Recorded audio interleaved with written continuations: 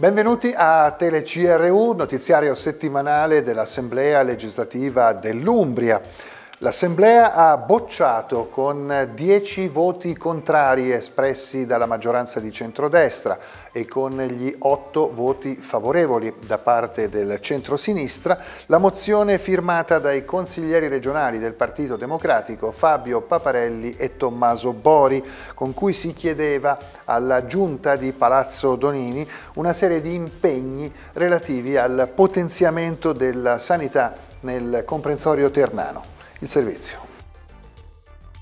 Il primo firmatario della mozione, Fabio Paparelli, ha chiesto l'impegno della Giunta regionale per un nuovo ospedale della Conca Ternana ad alta specialità, dotato di circa 500-600 posti letto, presso l'area di Maratta, una zona che dispone sia di validi accessi stradali che di una aviosuperficie già autorizzata H24 e già convenzionata con l'ospedale. Terni, ha sottolineato Paparelli, ha visto il drastico calo di ricoveri e interventi chirurgici, anche oncologici e il saldo della mobilità dei pazienti è diventato negativo, mentre prima l'ospedale Ternano attraeva molti pazienti da fuori regione e contribuiva in maniera enorme ad aumentare gli introiti della sanità umbra. Per Paparelli in primo luogo occorre fare in modo che i cittadini umbri non si rechino fuori regione, almeno per gli interventi a bassa e media intensità. Nella mozione si chiedeva anche di accelerare la realizzazione della Casa della Salute che includa il 118 e una sede per le associazioni di volontariato, riorganizzando migliorando la sanità territoriale e accelerare anche per fare il bando relativo al plesso ospedaliero di Narni Amelia, sottolineata anche l'importanza di un nuovo laboratorio di emodinamica Orvieto. L'atto comprendeva anche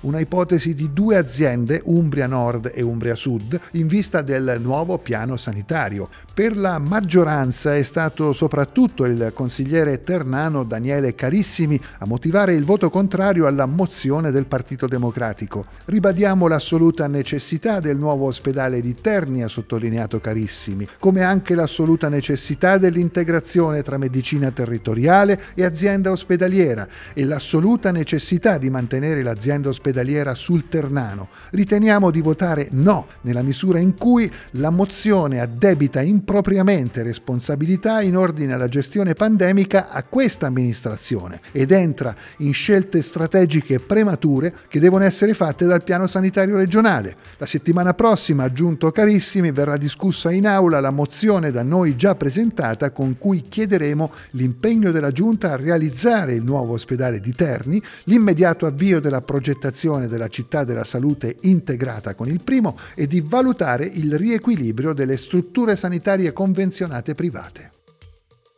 Ottimizzazione degli orari di trasporto e coinvolgimento dei sindaci del territorio. Voto unanime della seconda commissione su una proposta di risoluzione unitaria riguardante la ferrovia centrale Umbra. Il servizio di Alberto Scattolini.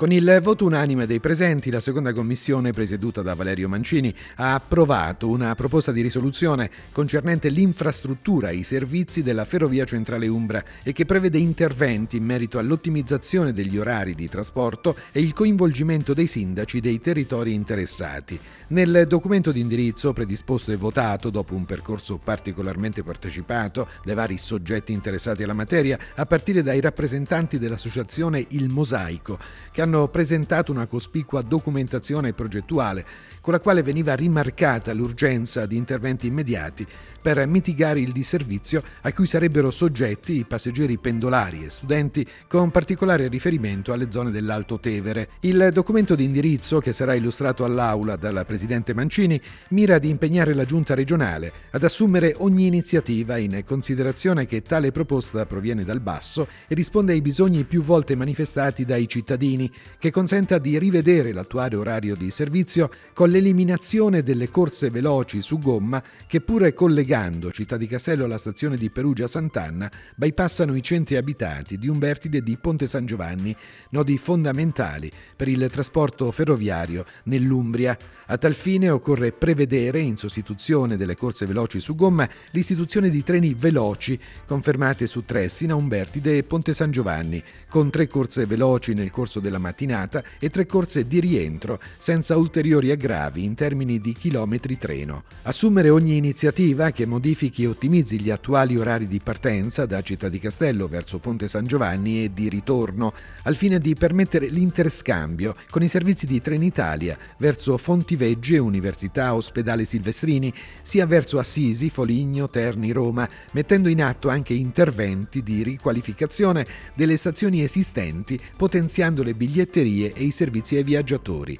porre in essere tutte le azioni utili affinché si ristabilisca il collegamento ferroviario Città di Castello San Sepolcro nella volontà politica che tutto l'intero tratto ferroviario diventi di interesse nazionale. Porre in essere il ripristino della ferrovia San Sepolcro Arezzo, supportando e qualificando come progetto interregionale la proposta della Regione Toscana e della provincia di Arezzo, invitando la Regione Umbria a coordinate azioni comuni assumere ogni iniziativa in sintonia con l'attuale piano regionale dei trasporti e che potrà trovare conferma ed ampliamento nei successivi atti di programmazione del settore, coinvolgendo anche i sindaci dei comuni interessati, al fine di rendere effettivo il collegamento tra il fondovalle e i comuni collinari dell'Alta Valle del Tevere, anche mediante l'integrazione con bus di minore dimensione tra TPL e trasporto scolastico dedicato, in maniera tale da rendere effettivo lo sfruttamento della rete ferroviaria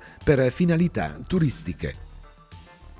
La prima commissione consigliare di Palazzo Cesaroni torna ad occuparsi della riforma del mercato del lavoro, il servizio di Marco Paganini sull'audizione a Palazzo Cesaroni.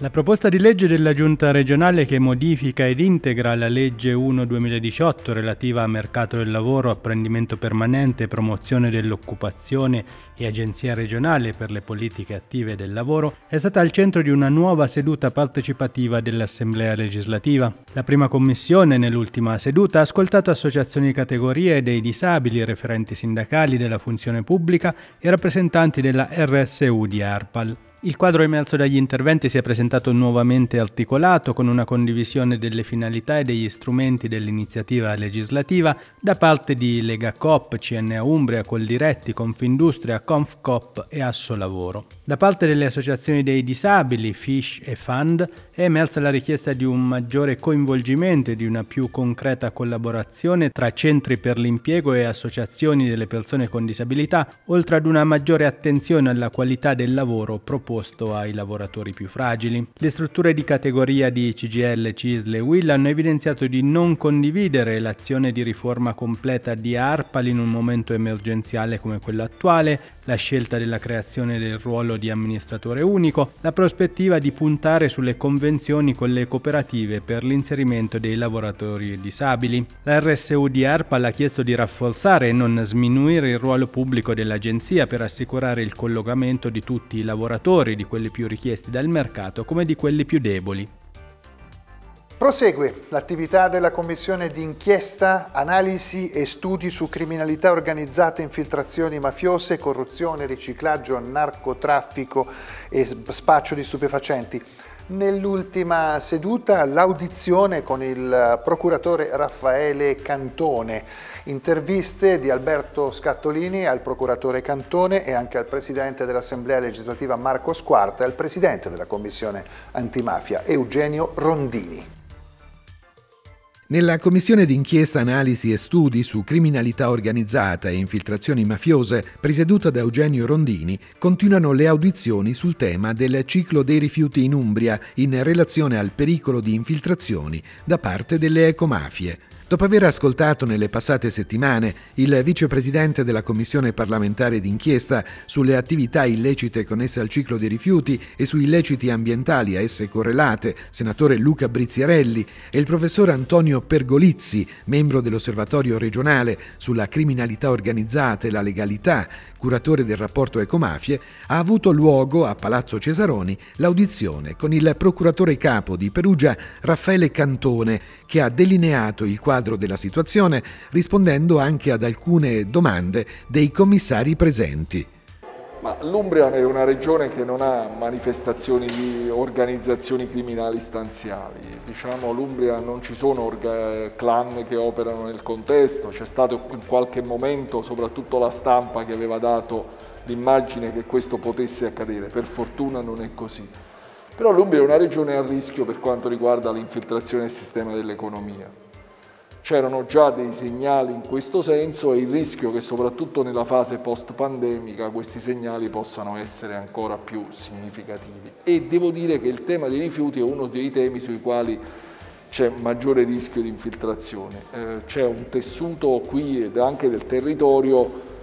eh, che consente soprattutto tutta una serie di attività illecite nel settore dei rifiuti e quello è un ambito nel quale i rischi che qualcuno ne possa approfittare dall'esterno sono molto significativi. Prima del suo ingresso nella sala Brugnoli, Raffaele Cantone è stato ricevuto dal Presidente dell'Assemblea legislativa, Marco Squarta. Ho voluto dare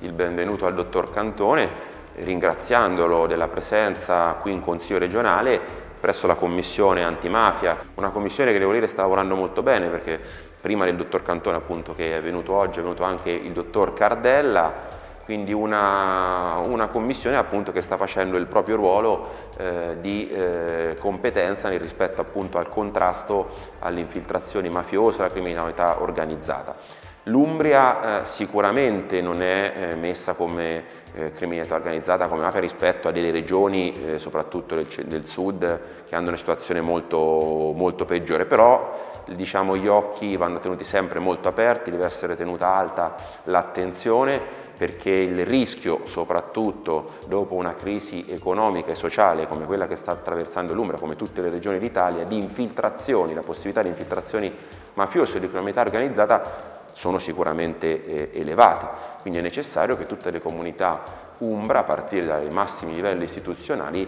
tengano alta la guardia per evitare che queste infiltrazioni, che questi diciamo, episodi di eh, criminalità possano essere presenti nella nostra regione, quindi le istituzioni devono dare il buon esempio. Soddisfatto del lavoro che sta portando avanti la Commissione sul tema del ciclo dei rifiuti, ma non solo, il Presidente Eugenio Rondini. Proseguono le audizioni con eh, oggi procuratore eh, Cantone, sicuramente sarà un valore aggiunto per il nostro lavoro sulla proposta di legge che abbiamo ereditato. Eh, tratteremo vari argomenti, soprattutto il ciclo dei rifiuti, per sapere le dinamiche eh, che si possono innescare rispetto a certi fenomeni. Poi probabilmente tratteremo l'argomento della corruzione, dell'usura, per capire come intervenire in maniera concreta sulla proposta di legge. E devo ringraziare anche l'Osservatorio, uno strumento importante per la nostra Commissione e per il nostro lavoro, che permette dei focus su certe tematiche e permette di migliorare un po' tutti sul lavoro svolto dalla Commissione.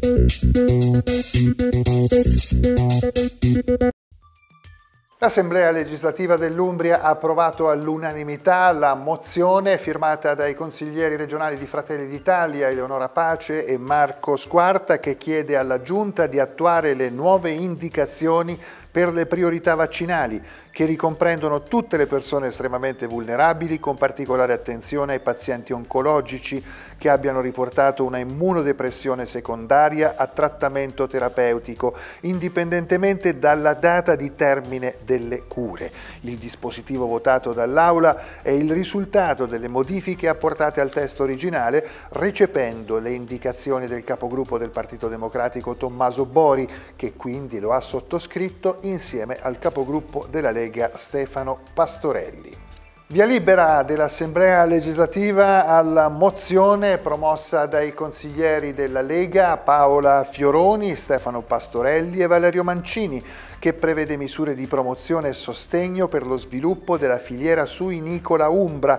nello specifico si impegna la Giunta a prevedere forme di sostegno per gli allevamenti di carne suina al fine di sostenere e rilanciare una filiera strategica per la regione Umbria, al fine anche di recuperare competitività rispetto alla concorrenza straniera, ricostituire tutte le condizioni per la riattivazione dei mattatoi in Umbria, con particolare attenzione ai territori colpiti dal sisma, porre anche in essere ogni opportunazione affinché sia incentivato e promosso il consumo delle carni umbre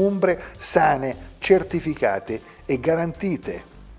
L'Assemblea ha approvato la mozione di Andrea Fora che chiede alla Giunta regionale di attivarsi per la valorizzazione del patrimonio immobiliare pubblico regionale e degli enti locali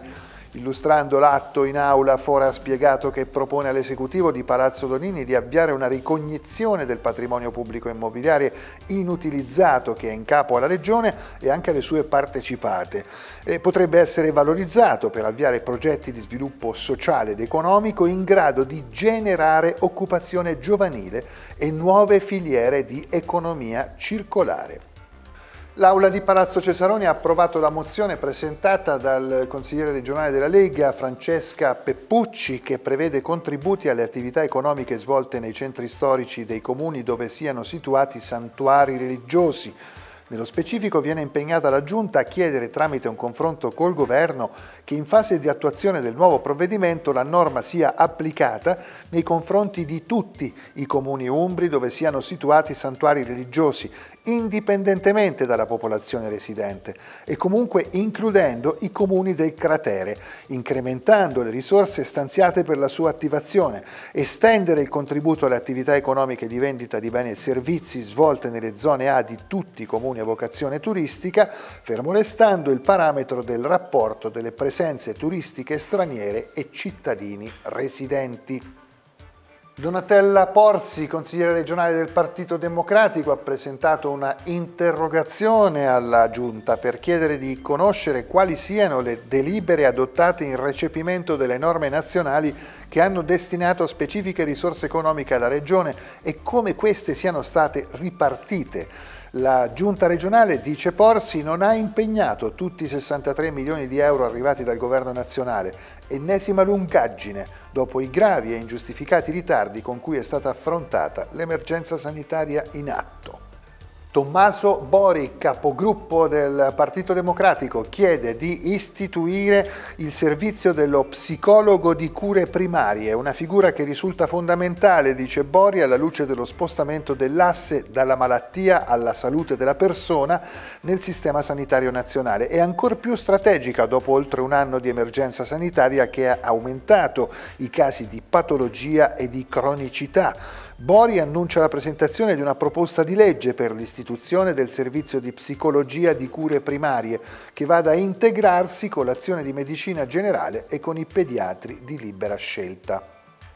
È inaccettabile l'accreditamento automatico delle strutture della sanità privata e la distribuzione di fondi a pioggia. Lo dicono i consiglieri regionali del Partito Democratico Tommaso Bori, Michele Bettarelli, Simona Meloni e Fabio Paparelli che annunciano la presentazione di un'interrogazione nella quale chiedono alla Giunta di spiegare i motivi per cui le unità sanitarie locali hanno fatto scelte diverse rispetto alla normativa e in caso di illegittimità, di provvedere a una rettifica e un'emissione di nuovi avvisi legittimi nel rispetto della legge e a tutela delle realtà aziendali presenti nella nostra regione. Michele Bettarelli, consigliere regionale del Partito Democratico, annuncia la presentazione di una interrogazione per chiedere quali sono stati i criteri e le logiche in base all'apertura del centro vaccinale di Umbertide. Bettarelli spiega l'atto ispettivo ritenendo anomale le dichiarazioni emerse durante la seduta del Consiglio Comunale di Città di Castello del 12 aprile scorso in merito ai motivi che sarebbero alla base dell'apertura del centro vaccinale di Umbertide, e cioè l'intervento di un ex sindaco, l'interpellanza del consigliere regionale Bettarelli, il comune che contatta ripetutamente la regione Umbria. Per quello che mi riguarda, dice Bettarelli, le affermazioni relative al mio operato non corrispondono al vero, non avendo io nel corso della mia attività consigliare presentato alcuna interpellanza o atto riguardante il centro vaccinale di Umbertide. Per questo ritengo necessario di fare chiarezza.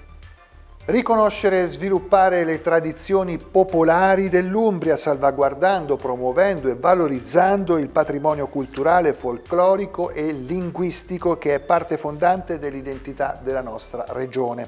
Lo chiede la consigliera regionale del Partito Democratico Simona Meloni, anche vicepresidente dell'Assemblea legislativa, che annuncia la presentazione di una proposta di legge in, questo, in questa eh, direzione, riconoscere e sviluppare le tradizioni popolari dell'Umbria.